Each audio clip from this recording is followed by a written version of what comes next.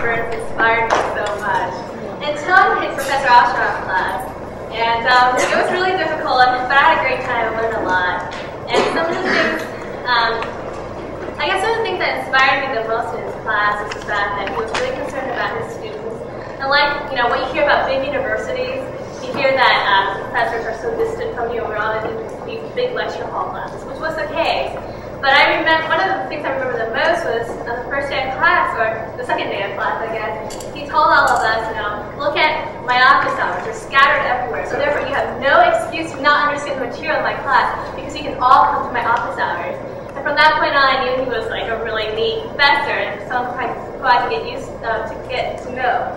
And therefore, I have. And he has been a great mentor to me and a role model, and therefore, you know, I hope I can share my experiences and you know, my knowledge of Professor Osheroff with you guys and have him share his knowledge with you.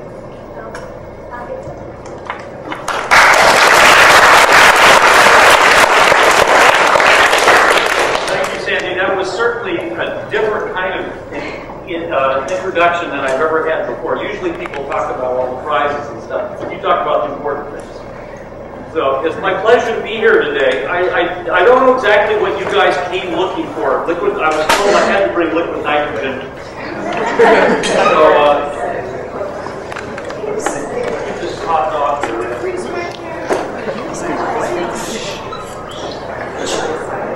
The, uh, the reason I actually thought it would be fun to bring this is when I, I spent 15 years at AT&T Laboratories back in New Jersey before I came to Stanford.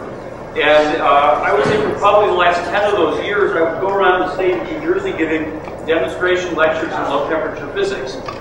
And I think the reason that I did that was that when I'd been uh, a student growing up in, in Aberdeen, Washington, which is a logging town on the west coast of Washington state, there had been something that had come by, and I can't even remember the name. It was either the Westinghouse of Progress or the General Motors of Progress. And it, it was sort of a circus sideshow, but it was all technical things. They had jet engines and, and uh, high voltage electricity, and anything you wanted was there. All the stuff that I sort of marveled at as a child. And it really sort of, I think, galvanized me, galvanized my interest in science. And I felt, gee, I should go around and try to do this to to uh, other people, pay back to society, I suppose is what it's called. And so I did a lot of that. And my, my wife always said, oh, you're a, you're a frustrated, you're a nascent professor. You should go off to university somewhere. And we would have these arguments over and over again. So eventually, the reason I came to Stanford was my wife got a job offer from Genentech, this biotechnology company, up in South San Francisco. And I said, will you accept that? And I'll start talking to Berkeley and Stanford. And that, that was, I, I suppose, about 12 years ago now. So I've been at Stanford, uh, this is my 12th year anyway. Anyway, it's a pleasure for me to be here. I thought I would tell you a little bit about how I got involved in science. Uh, I mean, I could give you the Nobel lecture if you want. This is, this is in fact, the, the, the first view graph for my Nobel lecture. The, the title is, is uh, uh, where is it? I can't read the title. I'm not sure you can either. It's, it's up at the top here superfluidity, helium-3 discovery and understanding, and you know, in that we would talk about all of the thermodynamics that allowed me to make the discovery and stuff like that. But maybe we'll just skip over a lot of that stuff since you guys probably don't know very much thermodynamics. But let me start out by saying a little bit about how I got involved in physics, uh, because you know a lot of you are probably about the point where you're going to have to think about going off to college and and moreover, you have to think about at least the general area that you might want to go into. And if you have no idea, if you if you simply have no idea what it is that you want to be your life's work, then Stanford is a good place for you you'll find lots of people that, that are the same goal. But uh, and I suppose that I was nearly one of those people. As a senior, I applied to two two places. One was Stanford because I had an older brother there, and I thought Stanford was a pretty good place. And the other was Caltech. And I knew not, nothing about Caltech except that it was supposed to be the hardest place in the country to get in. So, being rash as I was, I decided I'd apply to Caltech as well as Stanford. Only those two places, a good possibility I would spent the next year working in the paper mill or something like that. So I got into both places. And then I thought that, that if I went to Stanford, I'd go into journalism because uh, I was editor of the high school newspaper, and I was kind of infatuated with the sort of power and responsibility of the press and bold public opinion. I remember one particular uh, editorial I wrote on, on Lyndon Baines Johnson on the road to vice presidential obscurity. That was about one year before uh, JFK was assassinated, and, and, Johnson, of course, became president at that. Uh, but then it, I figured if I went to Caltech, I'd go into physics because you couldn't do journalism in a place like Caltech. Then I realized if I went to Stanford that I would have my academic record compared to my older brothers for four more years. And the mere thought of that was enough for me to decide to go to Caltech. So that's why I went into physics. Now let me tell you that in retrospect, looking back at that, I was clearly making the right decision, but for the wrong reason. Don't decide to do something because of some lofty ideal that, that, that, that you think is worth uh, dedicating your, your existence to. Because if you don't really enjoy the day-to-day activities associated with any sort of uh, a career, you will become miserable in that career. And you'll probably not do a very good job and you'll be lucky if you get the stage. So, so for me, I, I made the right decision, but for the wrong reason. Uh, if you look, if I look back at that time, as I do now, at my childhood, I started at age six tearing my, my toys apart to get the electric motors out because I like to play with them. When I was eight, my father gave me the camera that he had used when he was a child, and within two hours it was in little tiny pieces all over the living carpet. My parents never scolded me when I did crazy things like this. Uh, they sort of regarded it as, as, as a healthy curiosity, and in fact, tried to satisfy that curiosity. But the more you try to satisfy a curiosity, the bigger it gets. Really it's one of these amazing things. And so my parents, my father would bring home watches and tell me, well, why don't you try to take this watch apart and put it back together again? And I and he gave me the little screwdrivers, and I got very good at taking watches apart and putting them back together. There were always parts left over. The watches would work. I don't understand why they put all those extra parts in watches. Those are these old kind of watches, you know, that had cloud balance wheels and stuff like that. You guys probably don't have any. And I think I discovered gunpowder at, at, age 10. Uh, you could go down to the local sporting goods store and buy it by the pound. So rockets and bombs and uh, you name it. Uh, uh I made a muzzle loading rifle that went off accidentally in the house and put a hole through two walls. And the rule of thumb was that, that if something really, I would say, life-threatening occurred, that that phase of my experimentation was over. So I just said, well, you know, I understand that we will not use any more muzzle-loaded rifles. You know, rockets were still okay. And then I discovered high voltage electricity. And I, back in those days, you could go down to the the uh, neon sign transformer place, and for a quarter, you could buy a used 15,000 volt transformer. And uh, make great Jacob's ladders for 15,000 volts.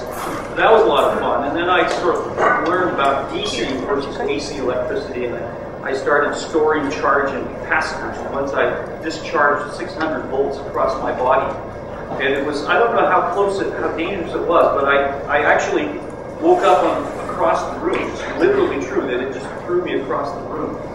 My parents didn't know about that one, so I was allowed to continue doing that sort of thing. I was, I was always into stuff, and I think the reason I went into physics really was that my parents tolerated an enormous amount of curiosity on my part. Curiosity which was, I suppose, in some sense dangerous. Uh, and in fact, it, what's true is that amongst my generation, a good fraction of experimental physicists have at least one finger missing. And in fact, uh, the three people that got the Nobel Prize this year, uh, Bob Laughlin, uh, Horst Stormer, and Dan. Horst Stormer has one finger missing. He's from Germany, but even he played with bombs when he was a kid. So I'm not saying you should all go out and play with bombs, but, but I think what I'm trying to say is that you should look at what it is that you really enjoy doing uh, through up till this point in your life when you want to decide what it is to go into. Now, what's true is these more liquid nitrogen.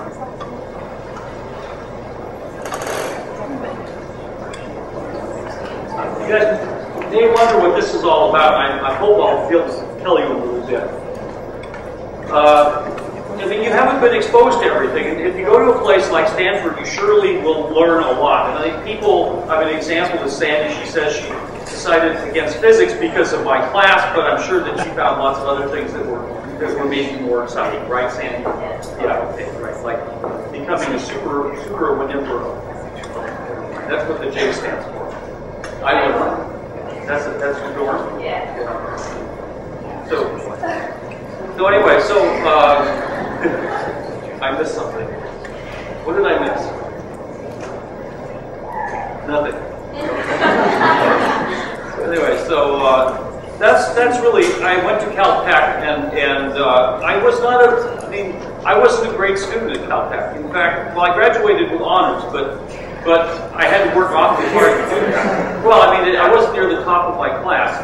And in my sophomore year, when I tried to declare physics as a major, there was a representative from the physics major, and he said, well, this was back in the days when Richard Feynman, for all anyone that knows, I'm sure you're joking, Mr. Feynman, or all Yeah. that sort of stuff. I mean, he was a, sort of regarded as a cult figure at Caltech. He was a professor there, was teaching undergraduates, and everyone wanted to, to become a physicist. So I would say probably two thirds of my class showed up at this uh, uh, informational meeting with a representative of the physics department, and he said, "Surely you can't all go into physics. It's much too hard. If you're not near the top of your class, forget it." And he said, besides that, even if you are, be prepared to work very hard for the rest of your miserable existence. Well, that was for your life, I think, he said. He said, there's always someone out there that's, that's smarter than you are, and you guys are competing for the same resources do research with. And, and so then he said that he had his best ideas at 3 in the morning. so, you know, I, I thought back at that, that uh, discussion after I left there, and I said, well, maybe I should become an electrical engineer. So I declared electrical engineering as a major, and uh, and the first electrical engineering course I took was a course on the transistor, and I was very excited because I always wanted to know how transistors worked. I built my first transistor radio when I was 11 years old, I think, and, and you know I was I was really into electronic stuff. Uh, and, but in fact, this course didn't deal with how transistors worked at all. It only dealt with with uh, how to use transistors in circuits. So it told you, it treated the transistor as a three-terminal black box with parameters that, that, that related the inputs to the outputs. And so after taking this course was bed at 8 in the morning, which is very early for undergraduates. For Stanford, well, I forget it. There are people that, that have to do 8, 8 o'clock classes, right, Sandy? But you never made it. so- never. Sandy wouldn't do that. No. No, it was eight, eight in the mornings. It was pretty bad. Anyway, I decided that I prefer becoming a, a mediocre physicist than a frustrated engineer, so I changed my major. Now, let me. That is not probably wasn't a very good perspective on on engineering looking at that one course, but I think at the undergraduate level, really what engineers do is learn how to design and build circuits. Typically, uh, I wanted to know how things worked that's what I'd been doing all the time when I was when I was uh, in high school, and uh, and so I thought I could get that better going in physics, and I declared physics as a major, and I suppose I've never been particularly uh, unhappy that I've done so. I went to Cornell for graduate school, and I, I will tell you that I. There was I wanted decided I wanted to do what's called condensed matter physics or solid state physics. I, as, as an undergraduate at Caltech, I worked in astrophysics. But in astrophysics, you don't actually do experiments, you simply make observations. And, and for you guys, it's probably not a very large difference, but I wanted to control the things that I studied. I wanted to be able to poke them and prod them and get them to give me, give up their most dark secrets. That, that was what I wanted to do. And, and uh, you can't poke or prod a, a neutron star or a, uh, a galaxy or something like that. You just make these observations, and of there are a lot of them out there, so you can observe a lot.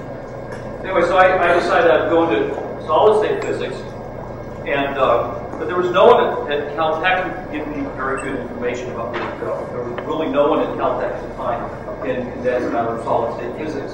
So I just applied to a bunch of schools. In fact, I went to my faculty advisor and I asked him what the good schools were, and he told me all the schools that had good tandem Van de Graaff accelerators because he was a nuclear experimentalist, and he just thought that any sane individual who was going into physics at that time would go to nuclear. So in the spring, there was a guy named named uh, Mossbauer. I don't know if Mossbauer. I think he already had his Nobel Prize for the Mossbauer effect, but he called it gamma resonance spectroscopy. By the way, never referred to it as Mossbauer. Came to Caltech And I asked him where I should go, and he looked at the list of places that I applied, and he said, well, there are only two good places in the United States, and you didn't apply to either one. And I said, where were the good places? And he said, well, uh, UC Berkeley, across the bay. Which way is across the bay? That way? Which direction is across the bay? I have no idea. That way. Okay. I have no. Guys didn't give me a compass. Anyway, uh, and the other one was the University of Illinois. I said, well, the places I didn't apply, and he suggested that maybe Cornell would be okay. Well, it turns out that, that most people's perceptions of a university, particularly graduate department, I think, are very much out of date. And his, I think his perception was probably 10 years out of date. And, and, and Cornell was an extremely good place to go. And I was very lucky.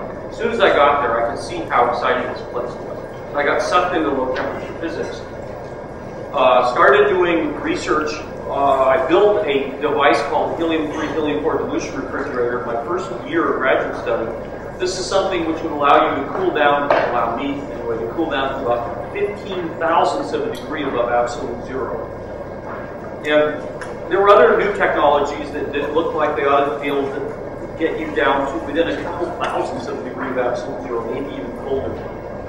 I was absolutely convinced that, that there would be uh, opportunities for new discoveries just because of your ability to use this new technology to look at nature in a realm in which you've never been seen before. And I, this was during the Vietnam War era, and I kept writing my draft board to get my draft exemption uh, extended for another year. And I told them how exciting this research was. And I don't know whether they believed it, or I was the only student from Aberdeen, Washington that had ever gone to Cal, to, gone into physics or for what. I don't. Anyway, they kept doing that. But I was, uh, in a sense, I suppose I was a man possessed. I really felt that, that this was a new technology that was going to lead to something very exciting.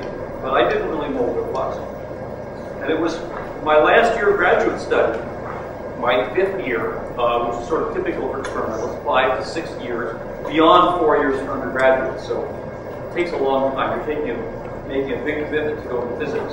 That, that uh, I was uh, thinking really about what experiment I would do. I was already married. My wife, by the way, is also Chinese, but she, she was born in China and grew up in Taiwan. Uh, Sandy was born in Taiwan, is that right? They grew up everywhere. Yeah. Anyway, uh, and uh, my wife was had gotten her degree after our third. We, we went to, to Cornell about the same time together, we met, in fact, before either one of us had found housing in the graduate student cafeteria. And we dated a while, and then I would call her up to invite her to a football game, and, and uh, uh, she would say, too busy. And so after she'd done that about four times, of course, I said, too busy is a euphemism for get out of my life. So we stopped dating, but we met again, uh, I guess, in, in, the middle of our second year of graduate study. We started dating. We got married, you know, at the end of the third year. Uh, thank you. what was that? School's out. Oh, that's a bell that says you guys are late. Oh, sorry. No. Anyway, so so you know, I real I didn't actually want to get get married until I had gotten my PhD because I wasn't sure really deep in in my soul that I would ever be able to do research. I mean, I was very good at designing and building things. Technically, I was first, but I had never done a research experiment that had told man something new about nature that, that, that no one in the world had ever known before. And that's what research is really all about. So it was kind of scary. Going into my last year of graduate study, the job market in physics was very bad. There was a guy that worked with me during my fourth year that sent his resume to 100 different places and managed to get one job offer. And this guy was actually very good. And so I told my thesis advisor that I wanted to do a really good piece of work, and so he should give me a really challenging topic. Back in those days, they would give me topics. And he said, well, why don't you measure some property of, of there was a, turns out that liquid helium-3, when you compress it, it solidifies. And, and the solid uh, undergoes a magnetic phase transition, which, was believed to be at about two thousandths of a degree above absolute zero. So he said, why don't you study some property through this ordering transition, which no one had ever seen before. So it was only conjectured that it would be two millidegrees based on high temperature properties that people had measured. And so I thought that that's what I would do. And I got in there, and I was no one was looking for superfluid helium-3, which is what I discovered. So there was then an experiment that was done by a guy named uh, John Wheatley, who's a professor at UC San Diego, and he sent us his results, and they just seemed very strange. The trouble is, you know, things that are that, that seem to uh, contradict your intuition still be right in low temperature physics. A lot of things are very weird in low temperature physics. For instance, the system that I study, mixtures of liquid and solid helium-3, have their very unusual and unique property, I should say, the, the, the latent heat of, of fusion. That is, the, the, normally you think to form ice, for instance, you have to withdraw heat from the, from the liquid, right? Well, for solid helium-3, it's exactly the other way around. If you're below three-tenths of a degree, if you're 20 millidegrees, for instance, in order to form solid helium-3, you have to add heat to the liquid. It has a negative latent heat. It's the only substance in the world that does. So seeing weird things doesn't mean it's wrong. You have to go in and check it. And I decided I'd go in and check these results out, and this would make a pretty nice thesis. And I went in there, what we found very quickly, though, was that this result, which was very exciting, was, was very wrong. And this is, unfortunately, this is frequently true, that the most exciting results are not so these guys, their thermometer had been bad, and, and the properties that they measured that looked very exciting uh, were simply a result of the fact that they had their, they, their temperatures were, were not right. And when I when I did the experiment correctly, I saw nothing that looked like uh, what what they had suggested. In fact, it was it was exactly what the very simple theory suggested should exist. So I was rather disappointed, and I kept doing this experiment because the effect was very small, as opposed to the one which Wheatley's group had seen, which was very large, and it was hard to measure. And then eventually another couple of graduate students told me that I had been on this experiment for so long that, that they, in fact, uh, had been held up. They wanted to use the, the same apparatus. Back in those days, uh, we measured temperature by, by, in fact, we still do, doing a nuclear magnetic resonance experiment. This is sort of one component of what MRI is all about. And you have to do this in a large magnetic field. So this is a picture of me uh, sitting. Okay, that's me. As you can see, I have not changed very much over the years. Uh, and this thing that I'm leaning against is, is, an iron core electromagnet. This is the kind that chemists used to use before they had superconducting magnets to do NMR experiments. And uh, uh, so we, this lab only had one of these things that weighs a few tons, and it would roll between this cryostat, this vertical thing, basically a thermos jug with liquid nitrogen and liquid helium in it. There's another one down here, and roll this next one over, and they could do their experiment. Well, I was I was still hoping I could get better results, so I decided I, I, I would give them the, the magnet, but then hope that their experiment didn't work. The low temperature apparatus is very delicate, and frequently you cool these things down and a leak falls off, or, or a leak opens up, or something like that, and you can't do the experiment. And so I was hoping that, in fact, their experiment would fail, in which case I would get the magnet back. But as long as I had to stay cold, I decided that I would try to do some sort of an experiment. And, and, and that, that was during that time when I was doing an experiment that really wasn't scheduled, uh, that, that, we actually measured the effect that, that, we saw. This is really what it looked like. I won't try to explain to you what this is all about.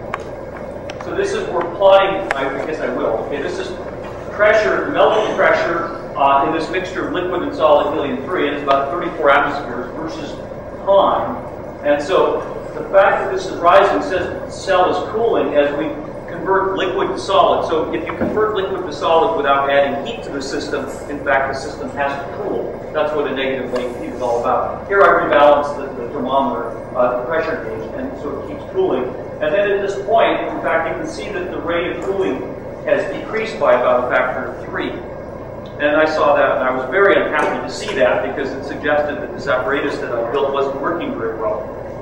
We tried it, that was the day before Thanksgiving, 1971. So I tried this again the day after, well, that next Monday, and here it is, the same.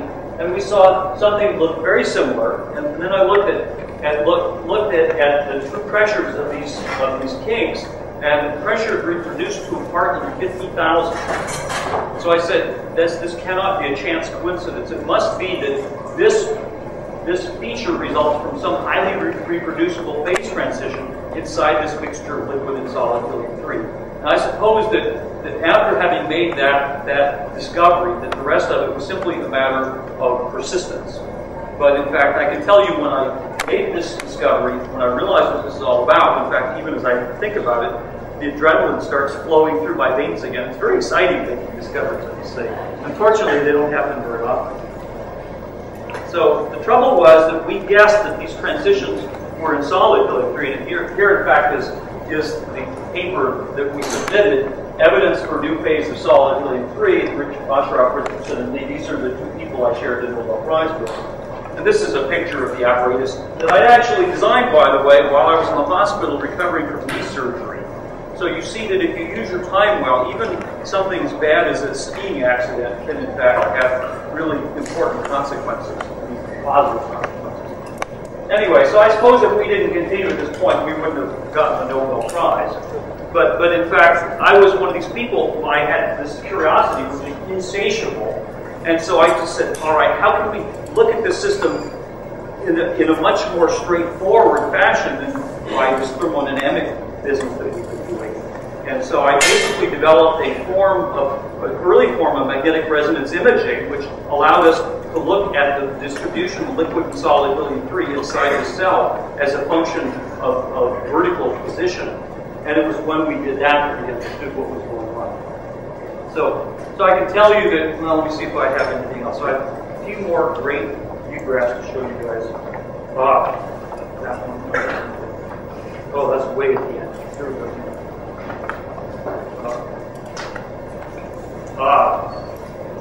Okay, this is what physics was like back back in, in uh, the 19, 1960s. Okay. Now this is this is me uh, with my eyes closed here, and uh, uh, this is a guy named Lowell Thompson, University of Sussex in England. This is Bob Richardson, with whom I shared the prize, and this guy here is Bill Halperin. He gave me this view graph. Uh, Bill Halperin is now uh, uh, the chairman of the physics department at, at, Northwestern University.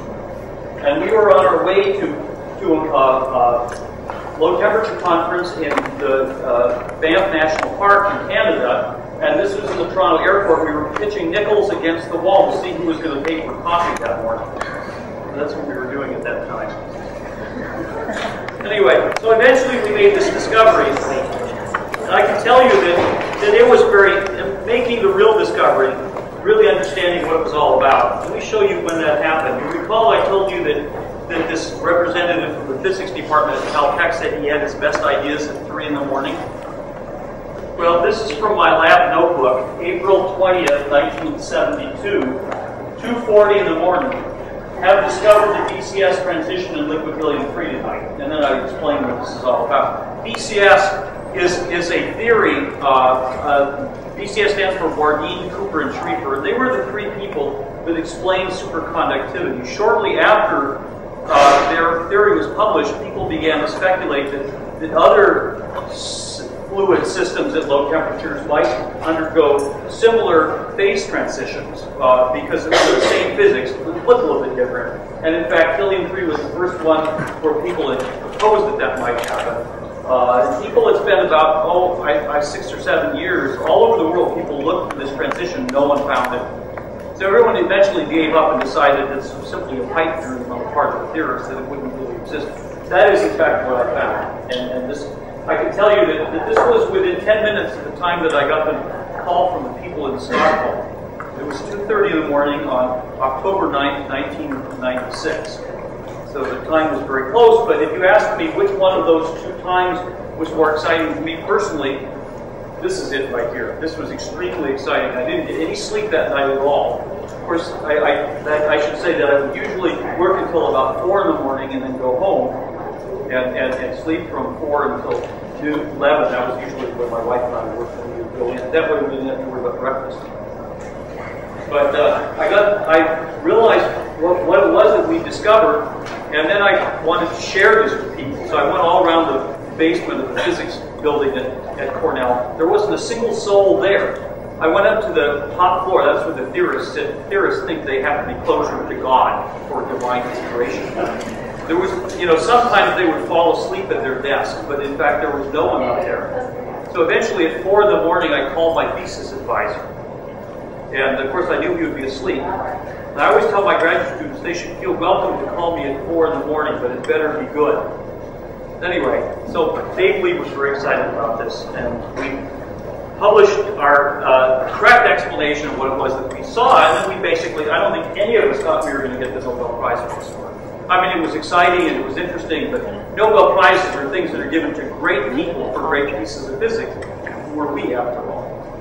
And I, I, would say it was probably about six years after that that people began to tell me that they nominated me for the Nobel Prize. And I thought this it was preposterous at first, but you know, hearing this year after year, and after a while, when it comes October and they're starting to announce the prizes, you get kind of nervous. Is it going to be given this year? And then after a while, it took me 25 years. It took us 25 years. So I, I can say the average is 17 in physics. So eventually I said, well, if it happens, that's fine. But if it doesn't happen, you know, that's fine too. There are a lot of disadvantages to being a Nobel laureate after all. And in fact, when I got the prize, I'll tell you how the phone call went. This guy says, hello, hello, is this Douglas Osheroff? with a Swedish accent, and I said, yes, and you realize it's 2.30 in the morning, because, you know, look, here I was, you know, uh, first of all, the, the phone in, in, the bedroom was my wife's side of the bed, but she never answered so I got up and ran around in my pajamas, and I was standing there in the dark. I was sure it was the wrong number, even though he'd asked for me by name. And then he says, uh, this is Carl Jakobsen of the Royal Swedish Academy of Sciences. It is my pleasure to inform you that you and your colleagues, David Lee and Robert Trippman, then eventually paused. As soon as he said that, that Royal Swedish Academy, of course, I knew what this was all about. And I just sat there. And then he pauses, and I said, oh my goodness.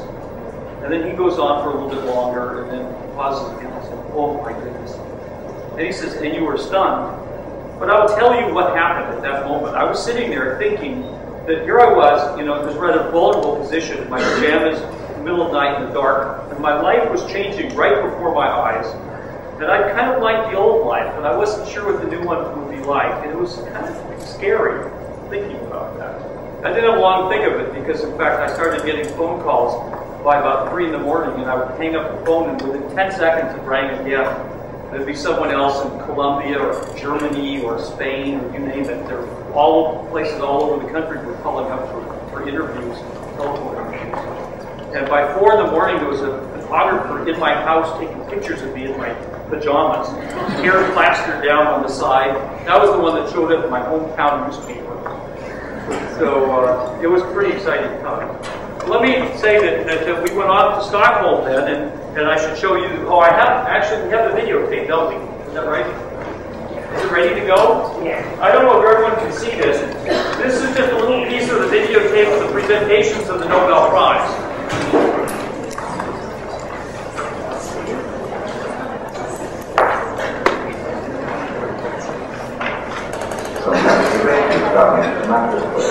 So they're talking about what the prize work was.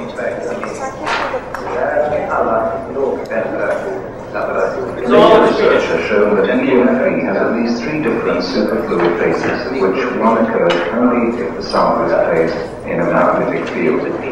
As a quantum liquid, helium-3 thus exhibits a considerable more complex structure than helium-4. Just a little bit. For example, anisotropic which means that it has different properties in different spatial directions, which doesn't occur in classical liquids, but more resembles the properties of liquid crystals. So the people on the back of stage are members of the Royal Swedish Academy of Sciences, and this is probably the uh, Lucy Carl Jakobsen, which is also known superfluid helium-4, has in helium-3 led to extensive research since its vortices can assume more complicated forms. Professor Richardson, you have been awarded the 1996 Nobel Prize in Physics. The only part in English is this. For your discovery of superfluidity helium-3. Your discovery has greatly enlarged our knowledge of the possible state of the condensed matter. On behalf of the Royal Swedish Academy of Sciences, I wish to congratulate you on this achievement and ask step forward and receive your prize from the hands of His Majesty the King. We are now about to receive a prize from the Swedish king, Professor Lee, first of all. The king is a very interesting person, by the way. Really neat guy. Lee is 1965, is, is 65 years old, I'm sorry. And the eldest of the three laureates in physics. We had a reversal where we learned how to bow. this is Lee's family.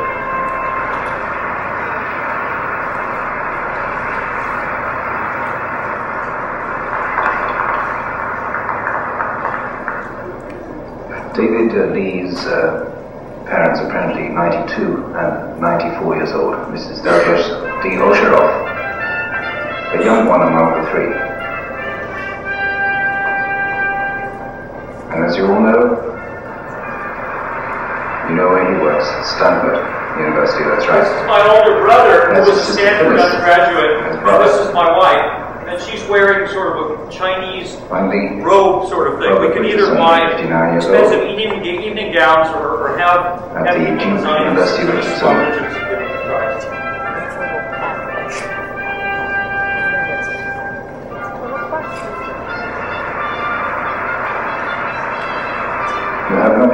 Hear that fanfare several times during the rest of the program. That's the fanfare that accompanies every uh, every presentation. It is every professor's dream that his graduate student will do a Nobel Prize winning experiment and he'll share the prize. This is, by the way, the gold room. I don't know if anyone, there's a, Detta är alltså dansen, vi är tillbaka på if you take the American Photo Magazine, there's a picture of this and a little story about Swedish it. television's live broadcast, and the interviewer has now prepared her interview with Let's Douglas listen to the first few of these questions. They're kind of Physics interesting. Prize winner, as we all know, from 1996. Here we go. Uh, Professor Osheroff, is it true that you tried to blow up your brother when he was small? I had no idea. No, it was, it was an accident. Was it really? Consider. Well, I know, he of course is bitter about that. but I, I, I think that his, his life was in no more jeopardy than mine was. I had a wild childhood. You did? Yes.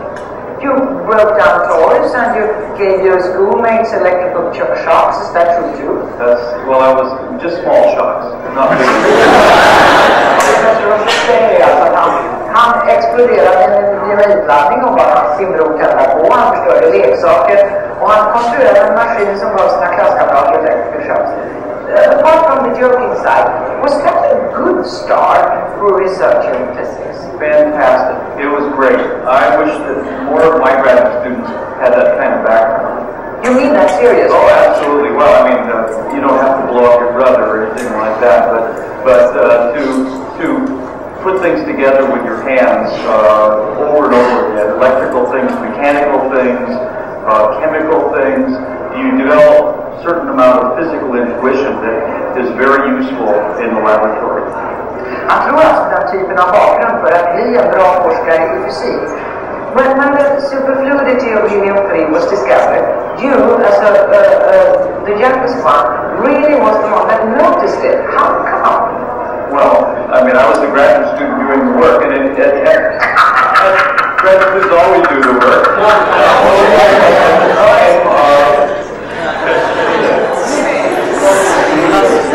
It was quite interesting that, that, uh, that, of course, you go from here to Stockholm, it's, it's 10 hours of jet lag, and it's extremely busy week. I mean, you cannot believe the number of interviews and, and luncheons and, and banquets. There was one banquet after this night, the next night was a banquet held by, were hosted by the King and Queen of Sweden in the Royal Palace, and I was uh, allowed to escort the Queen into her dining hall. And I sat between the Queen of Sweden on my right and the President of the Swedish Parliament on my left. Now, I'm seldom someone who, who is, is at a loss for words, but I was really, really uh, intimidated under that, that, that occasion, I must say. That was one of the few times. In fact, well, I'll let some of my politics come out now. I suppose that the previous night, just after, just before this interview was done, there was a huge banquet, 1,300 people in the Stockholm City Hall, and I was sitting next to the uh, Swedish Foreign Minister, the equivalent to our Secretary of State, And I spent probably the better part of a half hour explaining to her what I thought were the moral and ethical issues regarding Bosnia and how happy I was that, that, that Bill Clinton had gotten the United States involved in, in stopping the, the terrible things that were going on uh, in that country. And I still feel very, very strongly about that. I think that, that that was a far more moral and ethical thing to do than anything that, that, that anyone might think that he's done since then. That's my personal. And we won't discuss politics. But, but anyway, that, that's that's what I told told the Swedish foreign minister on occasion for the Nobel Prize. Well, look, let me not say very much more. For those that couldn't see that very well, here here's some photographs that come out no better, I suppose. This is this is the King Carl Gustav giving me the prize, and you had to learn how to do this. And then that evening after the, the banquet, there was a reception with the king and queen, and I, I can't see that very well. So this is my wife, and this is the queen, and this is the king, and I'm sort of way off here to the side. My wife is dominating the conversation. the last thing, uh, the, the last day was Friday, the 13th of December, which is Santa Lucia Day. Santa Lucia is actually an Italian saint, but, but she's celebrated in Sweden for some reason. I think it's because she must have died on the 13th of December. So this is a, a, a young woman who's playing the part of Santa Lucia who's giving me a, a, a breakfast with special little little buns and things like that and coffee and stuff like that. And you can see I'm in bed here. Uh, they, they were supposed to come rather early, but they, they came about 7 in the morning. And I'd actually had my camera ready and I took a whole bunch of pictures, but I forgot to remove the lens cap. So I didn't get anything. My wife was smarter than that. Anyway, look, let me, after you guys know about as much about me now as I do, uh, what I'm supposed to do is a couple of low temperature demos, and then in fact I'll answer your questions. So let me just pop this off. So what I have here is a plate. Uh, it's a copper plate, No. and it, it weighs a substantial amount. I it to liquid nitrogen temperature. It's actually a remarkably good conductor. And so we're see what happens to a conductor. Oh, here we go. Oh, magnet. We're going to drop a magnet down.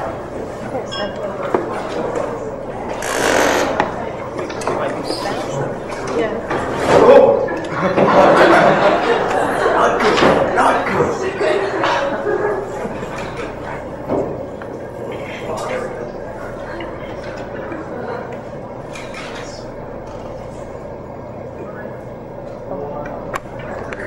Can you spin it?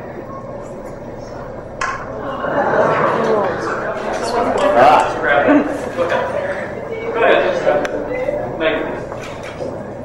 Go ahead and push it down.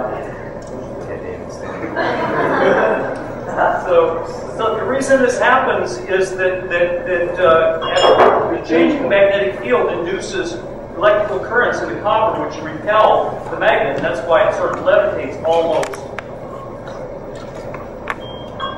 Now, if we had a perfect conductor rather than just something that's a very good conductor, of course, in fact, it would levitate forever. Because We can actually do that with, with a, one of these superconductors now. So we're not going to use. Let me do this one first. This is kind of cute. But these are just fun games, okay? This is a steam engine. We're going to run the steam engine on liquid nitrogen. So the question is, you know, normally you put something hot inside a steam engine, and if you put something cold inside a steam engine, does it still go? That's the question. So let's get some liquid nitrogen here. This stuff is actually, you know, it's cheaper than milk. Oh my God.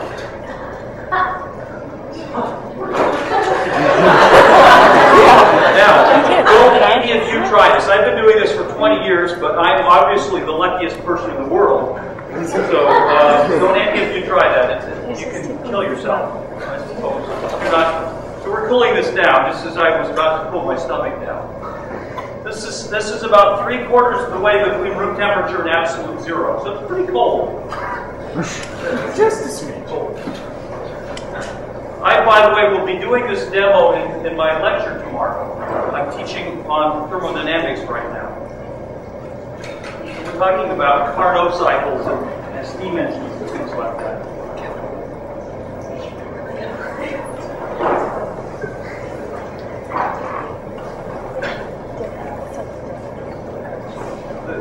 So, Give it a spin. It's uh, so steamy on this side, I can't tell. There's a little glass window, but I can't really tell how much, a little bit more. Now,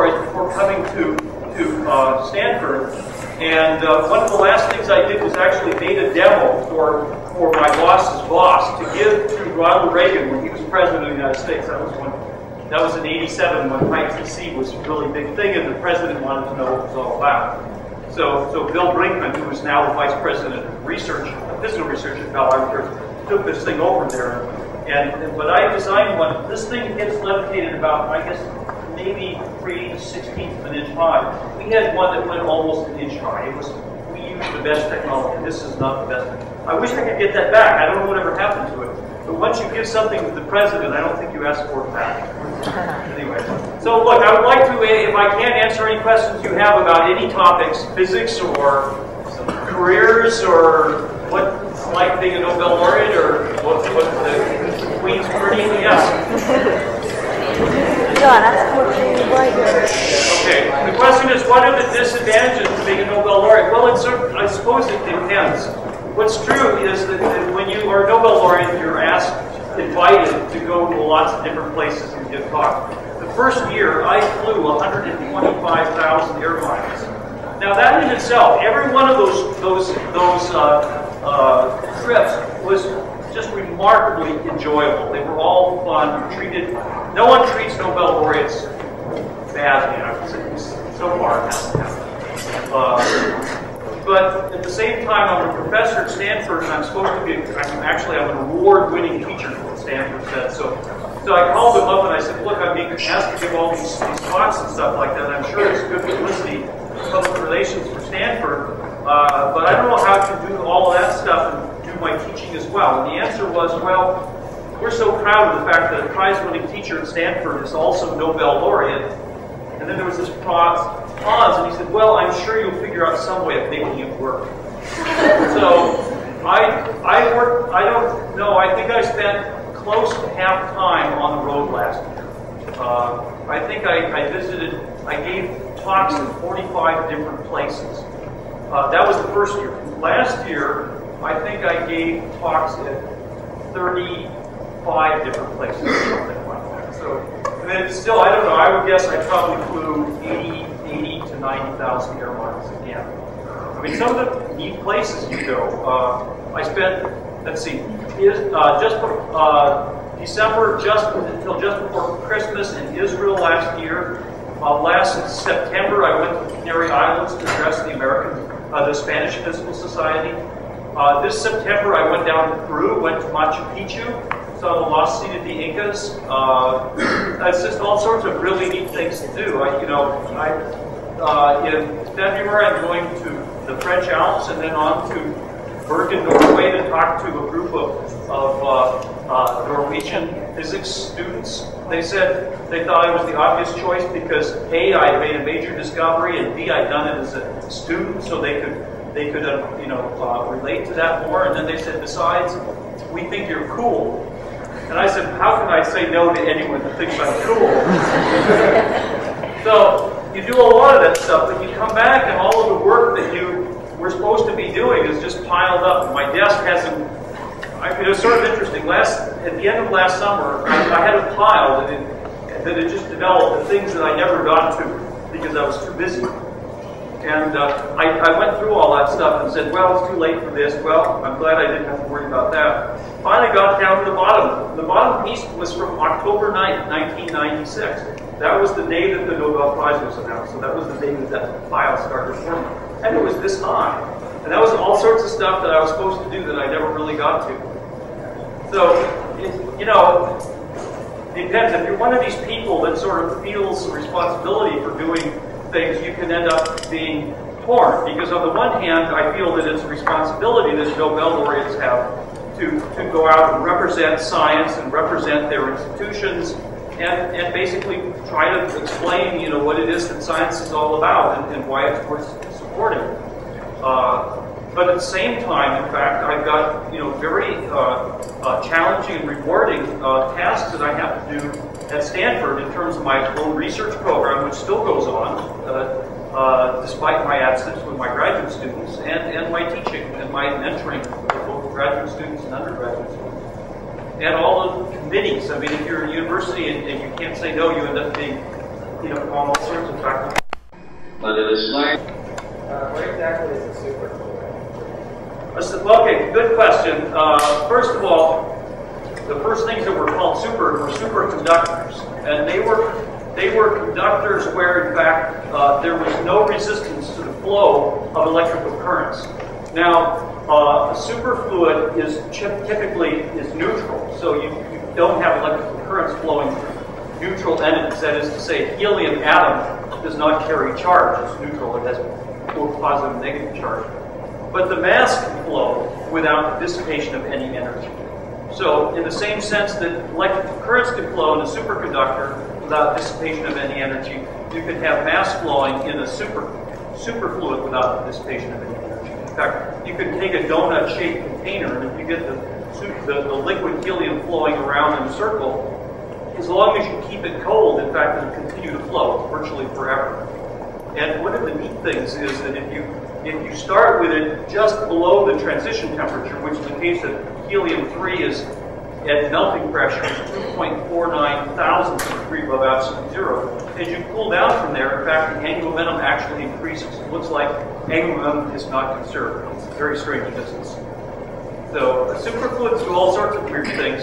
Helium-3, I think the value of it is, is that in fact it's an extremely complex superfluid. It's anisotropic, very much in the sense that liquid crystals are anisotropic. The properties depend upon which direction. That, that tape was beginning to talk about that a little bit. And so we've learned a lot about uh, a type of order which is explained by the BCS theory by studying superfluid helium-3. People think that the uh, large fractions of all neutron stars, by the way, are superfluid. It's unfortunately difficult to do the. You can't do experiments. We can't get close to neutron stars, but if we didn't, we would never, we would never go back.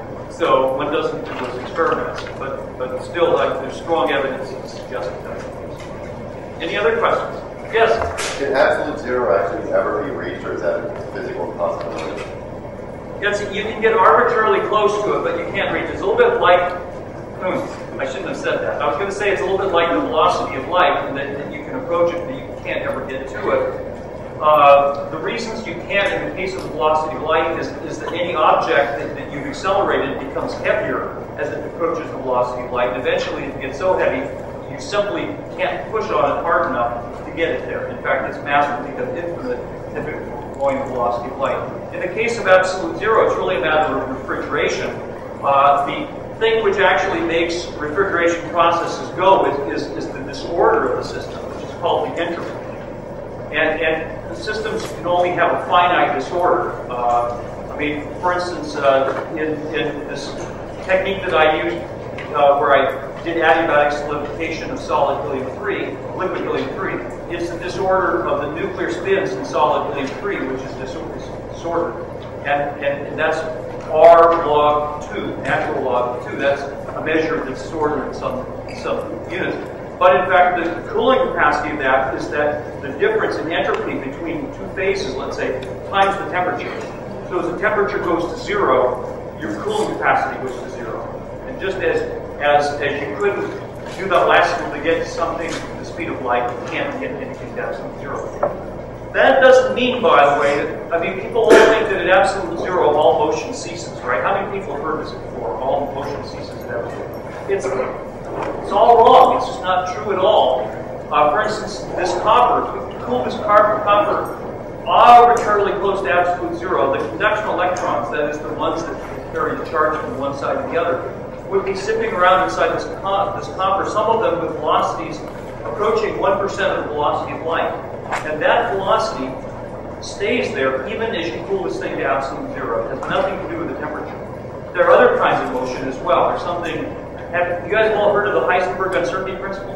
Yeah. Okay. So if you take a, let's say, a helium-3 atom and you localize it in a lattice, there must be an uncertainty in its momentum. And that, that atom bounces around rather wildly within the, the, the, the potential energy well that it's sitting in.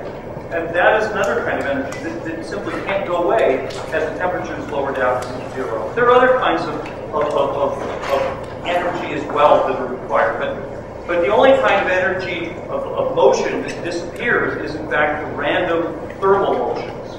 So those are a very particular kind of, of, of, of energy uh, kinetic energies. And in fact, it does disappear, but, but in fact, nothing else. Any other questions? Yes? Um, with superfluid helium-4, I mean, is there different things? I mean, you did the helium-3. Is there a big difference between the two of them? Well, I suppose that, first of all, helium-4 becomes a superfluid at 2.17 degrees Kelvin, so it's about a factor of a thousand higher in temperature. Uh, helium, there are two kinds of particles in nature. There, there are particles like electrons, which we call Fermi particles, they have to obey the Pauli exclusion principle. Helium-3 atoms are Fermi particles, like electrons. And then there are particles that are called Bose particles. An example of Bose particles are, uh, for instance, quanta of light are Bose particles. Okay. Now, Fermi particles, no two Fermi particles can be in the same quantum state, whereas for Bose particles, they love to be in the same quantum state. In fact, Helium-4 atoms are Bose particles, and, and the probability that a Bose particle will scatter off of something into a particular direction is proportional to the number of particles with that momentum that are going in that direction. So, in fact, it, they're really very different in that sense. If you look at the zero viscosity, they both have zero viscosity, but helium-4 I think it's, it's much easier to study. It's so easy to report 2.17 degrees Kelvin is, is really very high temperature. In fact, I actually used to at Stanford do demonstrations the last day of this class that I'm teaching on light and heat, where I would demonstrate superfluidity and students could actually look in and see it. Helium-3, because it's so cold, you don't get to see it at all. But it has a number of other properties which helium-4 doesn't have. For instance, the helium-3 entities which, which form the superfluid are called Cooper pairs. It consists of, of sort of a weakly bound pair of helium-3 atoms. And they have magnetic moments, and so you can do magnetic resonance experiments. And, and the magnetic resonance properties are unlike anything that any, anyone had ever seen before. In fact, when we submitted our paper uh, showing this behavior, it was rejected by physical review letters because the reviewer didn't think we understood how to do NMR. He thought these results were impossible. So so how, how did you get the with helium it has the uh, two? Well, you have to get it very cold. That's the thing. Uh, the, the, to form the pair, there has to be a weak attractive interaction between the atoms uh, at, at, at, very low temperatures. And that weak attractive interaction, I could explain to you what it is, but you wouldn't believe it. I mean, you wouldn't understand it. Well, I'll, I'll try. Okay. In a superconductor, how can you have an attractive interaction between two electrons? After all, they repel each other, right? So, so but, but you have to somehow form a Cooper pair which consists of two electrons. The way that happens is you have an electron which is going through the lattice. As it goes through the lattice, the positive ions of the, of the that contain the nuclei that, uh, that, are, that are sitting sites are, are attracted to this negative electron as it goes through. And so for a very brief period of time, after this electron goes through, there will be this cloud of positive polarization left behind it that will be attractive to an electron going the other direction. So they are, they're, the valence pair are going in opposite directions, in fact. But that is what forms Cooper pairs. It's this, weak cloud of attractive uh, charge, positive charge. In case of superfluid helium-3, the helium-3 atoms like to surround themselves with helium-3 atoms whose nuclear spins are pointing in the same direction. These are this is called ferromagnetic spin fluctuations. So there you have a two-bit word. Uh, but, but if you have a helium-3 atom going through the liquid, it tends to leave behind it, again, this, this cloud of, of up polarization, assuming this was a positive uh, up spin. And that will be attracted to a helium-3 atom with an uh, up spin that's going the opposite direction. So that's, that is the sense of conformity. Very deep questions see me in my office, okay, Varian 150 sometime this afternoon. Any other questions? Maybe less physics oriented. Yes? What's spin? Pardon? What is spin? Spin is a quantized angular momentum. So it, it's an intrinsic property of particles. So for instance, the electron and the proton have spin. Uh, it's, it's, the spin is, is one half unit of, of h bar. h bar is Planck's constant there's no way of getting rid of it. It, it, it is an intrinsic property of the particle. And, and, and the spin one half particle either point up or point down. Those are the two possibilities. Sir, yes? I'll ask you an easy question. Um, what, like, how much money did they get for the Nobel Prize, and what did you do with your prize money? Uh, yeah, the prize the year that I got it was was worth uh, $1.12 billion. Now, you, you share it with three people, so that gives me, I think, about 370, but I didn't take it back from Sweden in time. And the, the, the dollar uh, was getting stronger with respect to the Swedish crown, so by the time I got it, it was 360000 And then you pay federal and state taxes.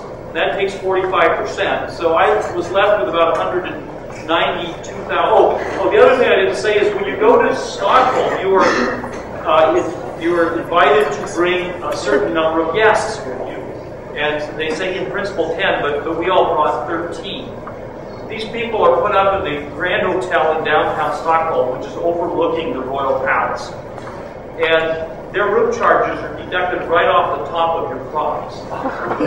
so, but the nice thing is it's before taxes. So I don't know, everyone else is so irritated that this thing is taxed, I think that they try to spend as much of it off the top as they could. So I, I, ended up spending about twenty thousand bucks before I actually got hold of the money. You don't pay taxes when it's still still the foundation's money.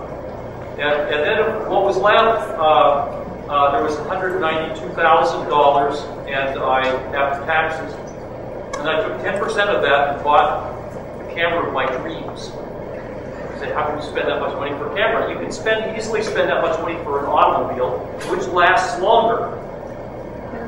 You didn't think of it didn't that way. No, so I bought a, it's a Swedish camera called the Hasselblad, and if you ever get married, probably the people that are taking the pictures will be using a Hasselblad camera.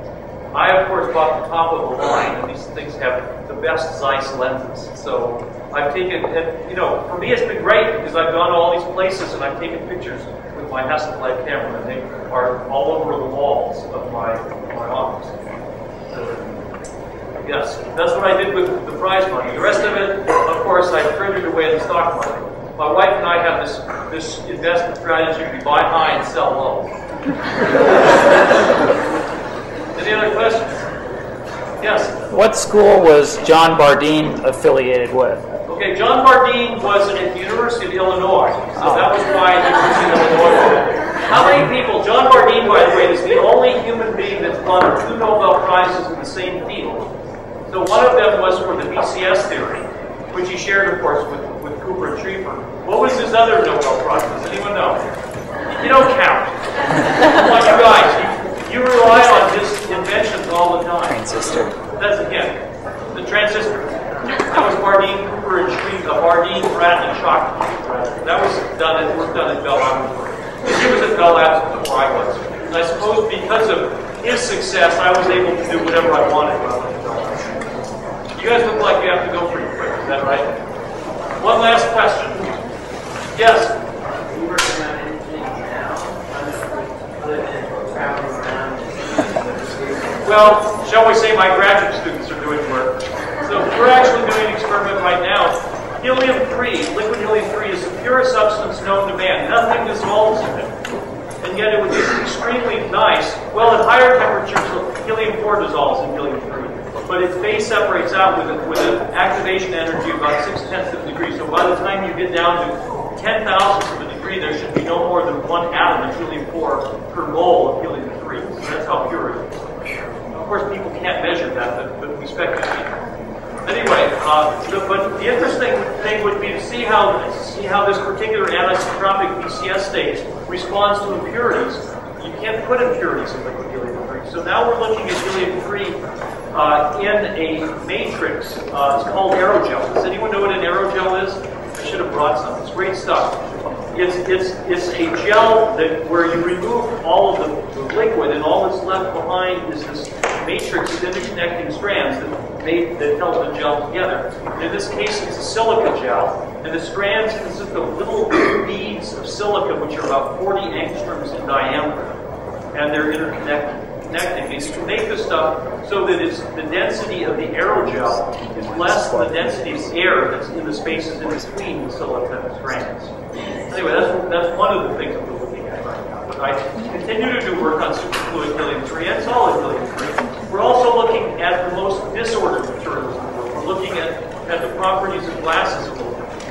So when you have a million and a half bucks worth of low temperature equipment, you do low temperature physics. And that's one problem with being experimental. You end up getting stuck. But it's fun. Any other questions? Okay, well thank you very much for coming.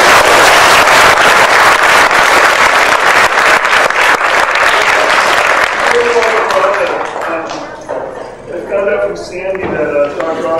Photography, so we got him a book on um, Ansel Adams in California. So this is a thank you for coming to us. Thank you very much.